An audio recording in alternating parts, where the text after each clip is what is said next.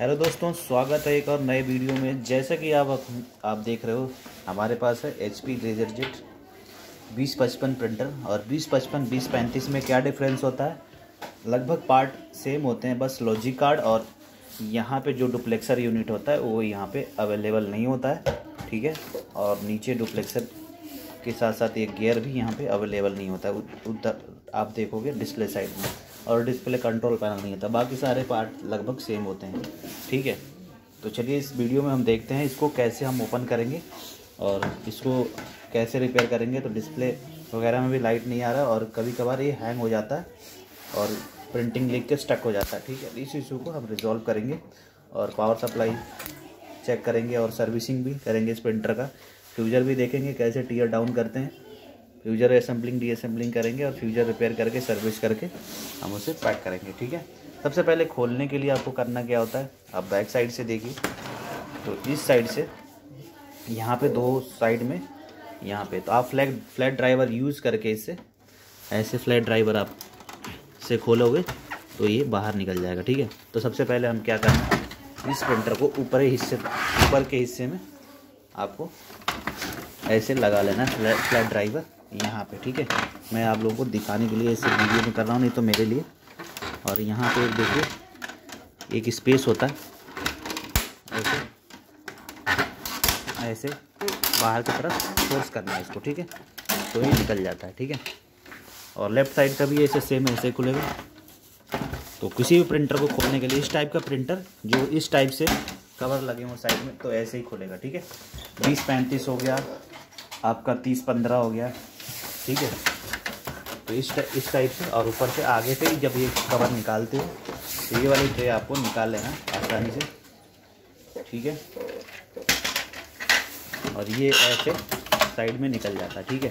तो इस इस स्विच का आपको ध्यान देना, ये पावर ऑन ऑफ़ स्विच होता है। ये वाली स्विच इसको ध्यान देना है। और कवर को साइड में रख लीजिए। प्रॉब्लम किस सेक्शन से आता है? अगर आपको ये गियर कभी कभार लगाने से प्रॉब्लम क्या क्या आपको फेस करना पड़ता है? जब आप इसको लगाओगे तो ये पैक नहीं होगा। जब ये आप इसके फ्यूजर के अंदर का एक गियर होता है, उसको सही से पैक नहीं करोगे, लगाओगे नहीं। तो क्या देखना होता है? उस वीडियो में हम देखेंगे। तो सबसे पहले इस प्रिंटर में प्रॉब्लम क्या आ रहा है? नॉट पावरिंग वो सॉरी डिस्प्ले नहीं आ रहा है। देखिए ऑन तो हो गया। मूवमेंट कर रहा है, सब कुछ कर रहा है। बट इसमें डिस्प्ले नहीं आ रहा। तो हो सकता है केबल वगैरह ना लगाओ। क्योंकि केबल भी लगा है हमारा। देखिए। इस साइड में लेकिन डिस्प्ले नहीं आ रहा है ओके? डिस्प्ले देखोगे तो इधर नहीं आ रहा है। डिस्प्ले में कुछ भी नहीं दिखा रहा है ओके? और इधर हमारा कंट्रोल पैनल की सब कुछ केबल वगैरह सब कुछ लगा हुआ बट डिस्प्ले नहीं आ रहा ओके? तो इसमें हम क्या करेंगे? सबसे पहले लॉजिक कार्ड को चेंज करके देखेंगे ठीक है? उसके बाद भी स्टिल सेम इशू है तो हम कंट्रोल पैनल को चेक करेंगे ठीक है? तो कई बार, कभी कभार आपने जब देखोगे तो यूज़र के वहाँ जहाँ पे विज़िट करोगे क्लाइंट साइड पे तो ये वाला कंट्रोल पैनल बीच में कोई बटन काम करता है, कोई नहीं काम करता। तो आपका इसका मतलब कंट्रोल पैनल फॉल्टी नहीं है पूरी तरीके से।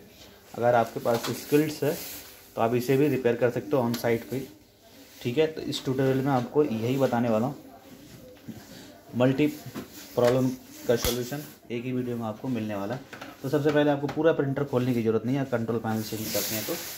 तो देखिए, ये वाली हिस्से को ऐसे हम निकाल के कंट्रोल पैनल को बाहर से ही चेंज कर सकते हैं, पूरा प्रिंटर खोले बगैर, ठीक है?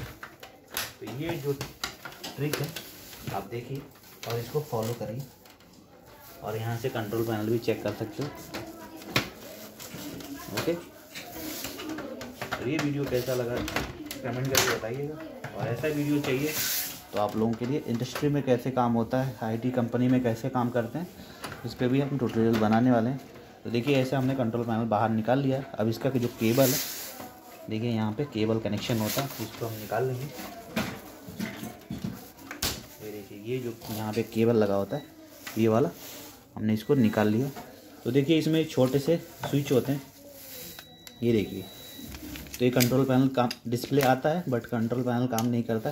कभी कभार ये जो केबल डैमेज हो जाती है तो भी डिस्प्ले नहीं आता है। देखिए, या रस्ट आ जाता है। देखिए यहाँ थोड़ा बहुत रस्ट है। तो ये हमारा डिस्प्ले है। तो हम इसको क्या करेंगे? थोड़ा सा हम क्लीन कर लेंगे इसको।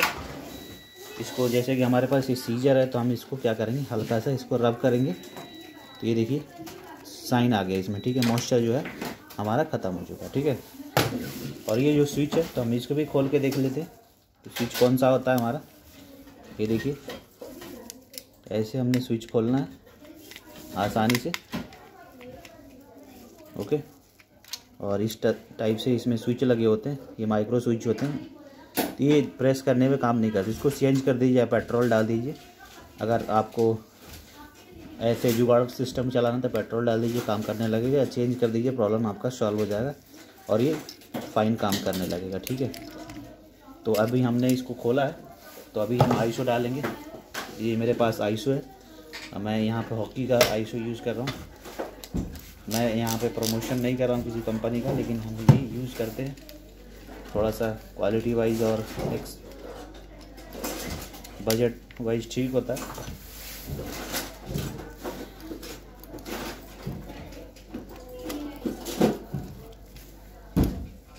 इसको लगा लेंगे स्प्रे कर कर लीजिए, इसमें कोई इशू नहीं है। आपको ड्राई करने के लिए तो आप एस से सूख ड्राई कर सकते हैं। कुछ टाइम छोड़ दोगे तो ड्राई हो जाएगा, ठीक है?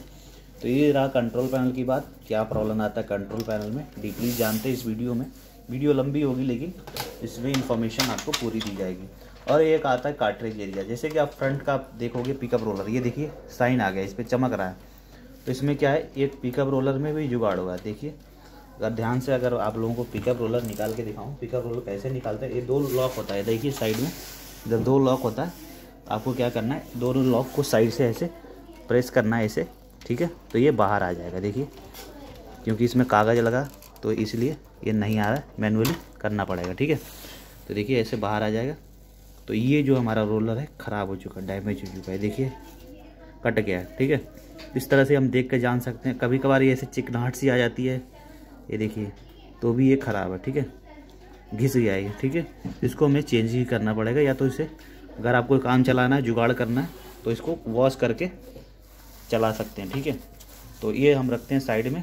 फ़िलहाल अभी लगाना है तो आपको करना क्या होगा? नीचे के तरफ़ में ऐसे लगा के ऐसे प्रेस कर देना है, लग गया, ठीक है?